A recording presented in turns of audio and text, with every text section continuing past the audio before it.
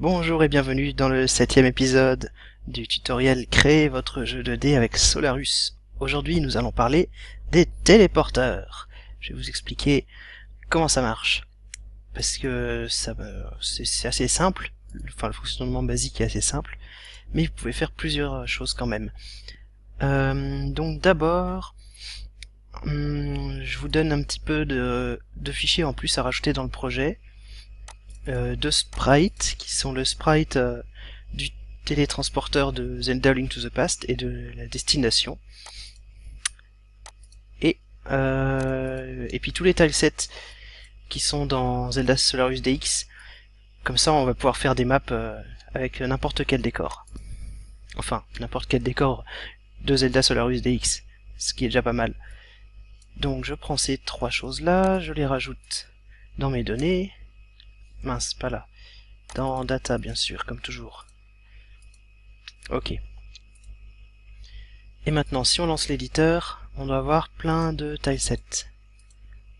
Voilà. Euh, J'ai renommé Monde de la Lumière en Light World aussi parce que il faut une certaine cohérence. Soit vous faites tout en français, soit vous faites tout en anglais. C'est comme vous voulez. Moi j'aime bien faire tout en anglais parce que euh, le jour où le jeu devient un peu international, où il y a des gens qui veulent le traduire, c'est mieux si ce soit une langue, euh, que ce soit la langue la plus parlée possible. Donc l'anglais. Alors. Voilà, je rouvre euh, notre fameuse map. Jusqu'à présent, on a une destination qui était ici. alors on va faire un petit, un petit, un premier test. On va ajouter une, une deuxième destination n'importe où, mais cette fois-ci, on va regarder ce qu'on peut faire. On peut lui donner un nom. Bah ça c'est important de lui donner un nom parce que euh, quand vous faites le télétransporteur qui mène à cette destination, il faut bien pouvoir dire où vous allez. Euh... Non, j'ai pas trop d'idées, je vais mettre test destination. voilà. Euh, voilà, voilà, voilà. Et puis on va mettre, on va afficher un sprite. Vous pouvez faire une destination invisible comme celle-ci ou alors une destination visible avec le sprite, bah je prends le sprite de Link to the Past, qui est ceci, l'arrivée de télétransporteurs. Donc dans Solarus, les arrivées de télétransporteurs s'appellent des destinations. Donc ça et ça, c'est exactement la même chose, c'est juste qu'il y en a, y en a une qui affiche un, une image, un sprite, et l'autre qui affiche rien du tout, qui est invisible. Et ensuite un téléporteur, pareil, c'est l'objet jaune là, quand vous, quand vous cliquez dessus, quand vous le posez, le dialogue s'ouvre tout de suite, parce que vous devez mettre une, euh, une destination. Alors, euh, la map de destination, bon bah, on va rester dans notre map et on va, on va choisir celle-ci, qui est donc test destination, puisque c'est comme ça qu'on l'a appelé. Et pareil, on peut choisir de faire un télétransporteur visible ou invisible. Alors on va afficher le télétransporteur de Link to the Past. Et on peut éventuellement jouer un son. Alors comme c'est un télétransporteur visible, on va aussi jouer le son, euh, le bah, toujours pareil, le même que dans Link to the Past. Euh, qui est, alors il s'appelle Warp. Voilà. Ok. Et lui, on n'est pas obligé de lui donner un nom parce que il n'y a, pas besoin de nom pour fonctionner. Allez, je teste. Oula, c'est un peu fort.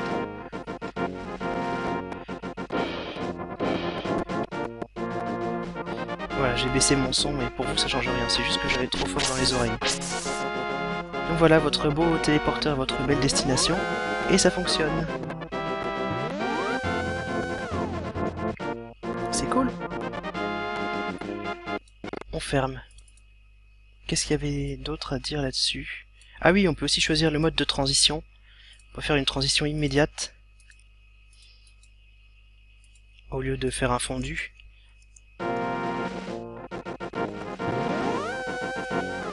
Avec le son ça fait un peu bizarre. Donc tout dépend des situations. Fade in, fade out. Voilà. Je vais laisser monter ma, ma transition normale. Ok.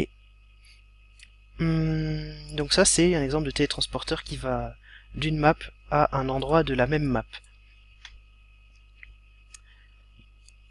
Euh, on peut aussi aller dans une autre map. Par exemple, admettons qu'il y a une caverne ici.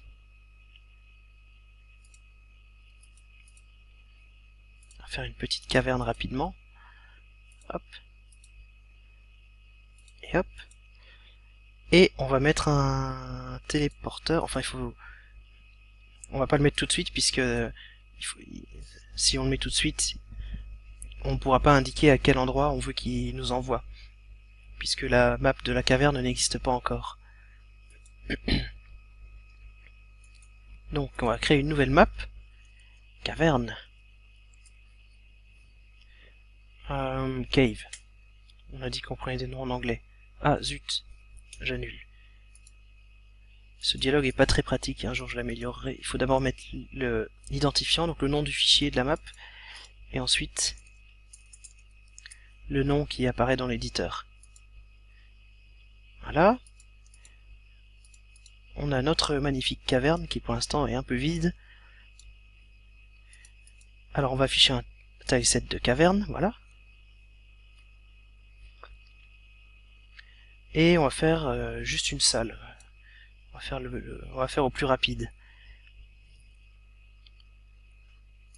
Alors d'abord un petit contour comme ça de 16 pixels.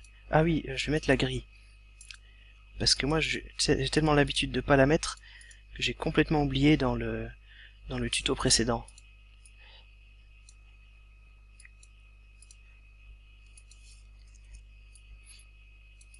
Donc, on met le contour, ensuite on met les murs. Alors, dans toutes les, tous les tilesets d'intérieur de Zelda Solarus DX, et qu'on réutilise donc ici, ça marche toujours un peu de la même façon. On a tous les murs ici. Là, on a les murs de la, de la couche basse, si on fait une couche plus basse, mais euh, vous verrez un peu plus tard. Là, on a toujours pareil, les murs, mais, euh, mais quand on fait des, des précipices. En dessous, on a les portes, les escaliers, et puis on a, on a tout ce qu'il faut. Alors, donc les murs normaux, c'est ceux-là. Donc là, avec les quatre coins.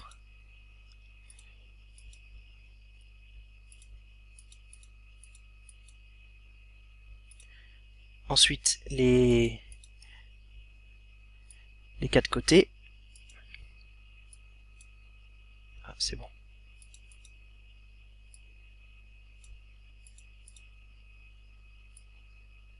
Après, on va mettre un petit sol. Donc le sol standard, c'est celui-ci. Voilà. Et puis normalement, il faut aussi mettre les espèces de petits, euh, petites bordures là. Donc ça marche de la même façon. Vous mettez les quatre, les quatre coins. Ça c'est valable pour les cavernes, mais ça marche exactement pareil pour les, les maisons, les donjons. Euh. Tous les tilesets d'intérieur sont, sont sur le même modèle plus ou moins.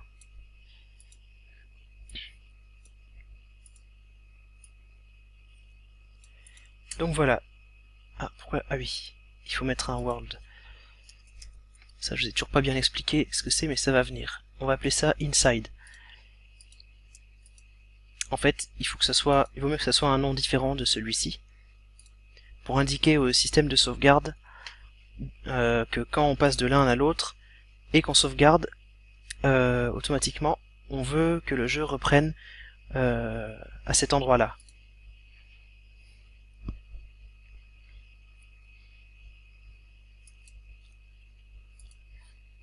Alors que par exemple si vous passez d'une d'une map euh, de cette cave, cette caverne euh, à une deuxième map de la même caverne, par exemple qui, serait un autre étage ou je sais pas quoi, là vous avez pas envie que le que la sauvegarde change votre position euh, de départ. Alors là j'ai pris un, un tile mais pas le bon, il s'est mis sur la couche basse parce que parce que il est normalement sur la couche basse. En fait c'est lui que je voulais. C'est pour faire la porte. Voilà. Ça, c'est le haut de la porte. Ok. Donc on va faire une destination, invisible cette fois-ci bien sûr, dans la porte. Direction euh, vers le haut, ça, ça veut dire que quand le joueur va arriver dessus, il sera dirigé initialement vers le haut. Et là, il faut lui donner un nom. Alors, from outside, par exemple, pour indiquer que c'est l'entrée, euh, c'est la destination qui, vient qui provient de l'extérieur. Comme c'est la seule de la map pour le moment, on peut pas trop se tromper, mais bon, euh, c'est une habitude à prendre. de l'autre côté, on va faire une destination ici. Et pareil, on dit elle vient de la, la map euh, cave. Voilà. Donc maintenant, si on met un téléporteur, ça doit marcher. Euh, destination, alors cette fois-ci, Destination Map Cave et Destination Point. Alors là, il me propose pas la, bonne destination. Est-ce que j'aurais, par exemple, oublié d'enregistrer? Save.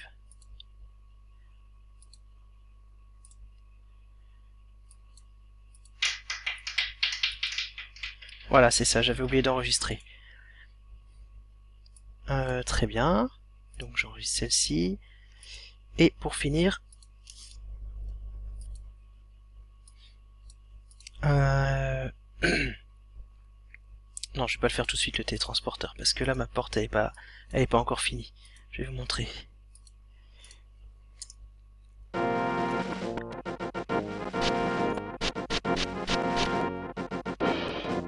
Voilà. Ah, j'ai oublié de changer la musique. Ça, c'est pas très grave. Donc là, en fait, j'ai pas vraiment fait de porte. J'ai fait un décor de porte, mais on peut pas passer en dessous. Si vous regardez, euh, tout ce qu'on a mis là, c'est au layer, à la couche intermédiaire. Tout ça. Il n'y a rien à la couche basse, parce que la couche basse, c'est réservé à quand vous faites des murs, des salles plus profondes, euh, par exemple comme ça. Forcément, on voit pas. mais, mais on n'aurait pas mis ça, en fait. On n'aurait pas mis tout ça. Et là, on ferait une salle plus basse, euh, ou une salle avec deux étages, par exemple. Bon, fin de la parenthèse. On est sur le voilà, layer intermédiaire, couche intermédiaire. Et du coup, pour pouvoir passer en dessous ici, que ça soit joli, euh, ça c'est déjà sur la couche haute. Mais il nous faut aussi, alors ça c'est déjà sur la couche haute aussi, Simplement, il nous manque sur la couche intermédiaire, si j'affiche que la couche intermédiaire, on n'a pas fait de passage, donc euh, ce morceau-là, c'est un mur. Si j'affiche la grille, ça aide pas trop, je trouve. Donc ce qu'on fait simplement, c'est qu'on rajoute un petit bout de sol comme ça, et puis des petits bouts de, de barrière par exemple, pour empêcher... Euh, parce qu'on va pouvoir marcher ici, mais on ne va pas pouvoir marcher là. Et puis bah, notre téléporteur, c'est bon, on n'a plus qu'à le mettre là. Et on va vers la première map, euh, direction euh, From Cave. Voilà. Alors, sauf que mon téléporteur, il est un peu bête, il s'est mis au high layer, je vais le mettre au intermédiaire. Ok, là c'est pas mal.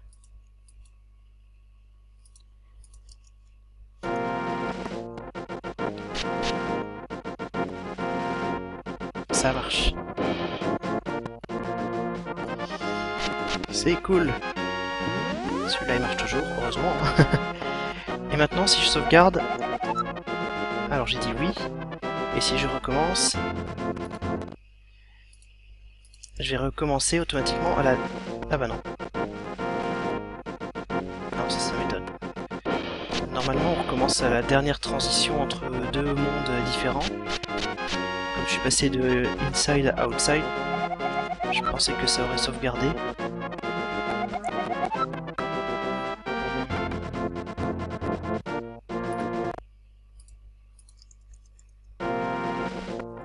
Est-ce qu'il a bien sauvegardé au fait?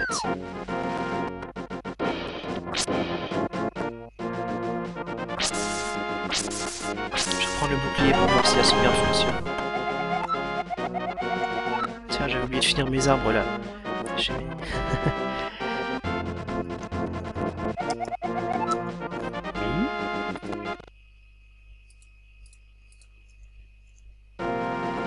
Ok, donc la sauvegarde fonctionne, seulement il n'a pas voulu redémarrer à la dernière entrée de, de map qui a changé de monde. Hmm, tant pis. Chercherai explication plus tard, parce que j'ai encore des choses à vous expliquer. Euh, on va faire une nouvelle map encore, mais cette fois-ci on va la faire à l'extérieur, on va faire une map à l'ouest de celle-ci. Celle-ci, je vais peut-être la, renommer. Euh, première map, je vais l'appeler... Hmm, oups. Bah alors Ça rame complètement.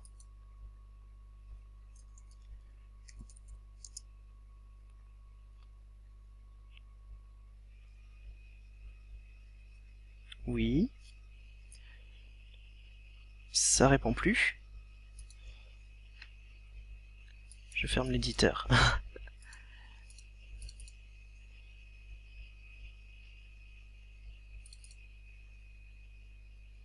du coup, il me l'appelait outside ma map. Je voulais mettre outside euh, east, voilà. Et puis on va en ajouter une autre qui va être outside west.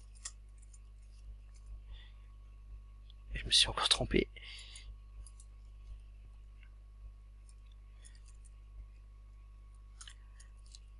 Voilà, outside west. Tac. Donc pareil, 640 par 480.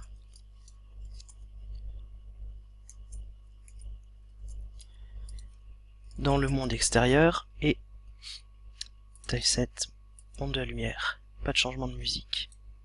Ou plutôt si, on va dire musique, euh, monde de la lumière.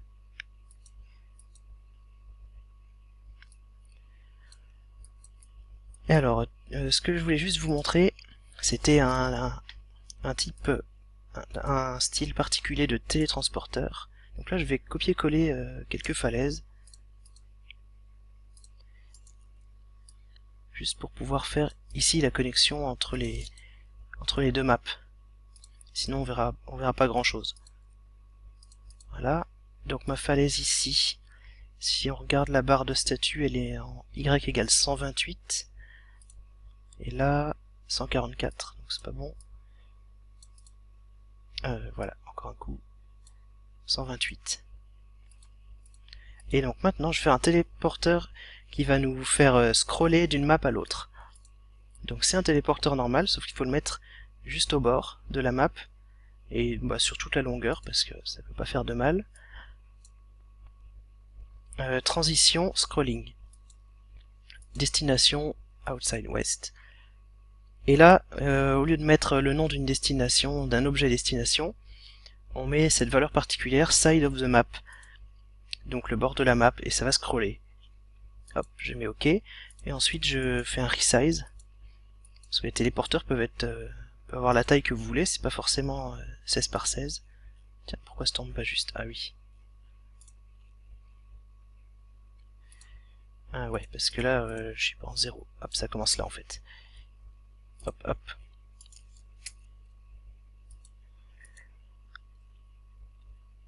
Et puis, on va faire la même chose ici. Pour pouvoir revenir. Télétransporteur scrolling outside east. Side of the map. Voilà. Ben oui. C'est pas ce que j'ai fait. J'ai dû faire close ah non ah si ok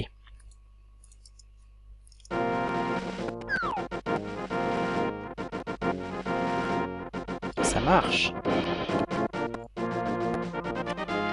vous avez fait votre première transition euh, de scrolling entre deux maps.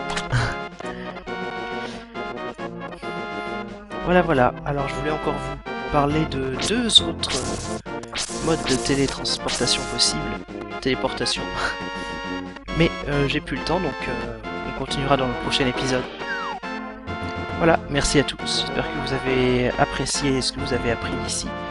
et on se retrouve bientôt pour la suite du tuto. Ciao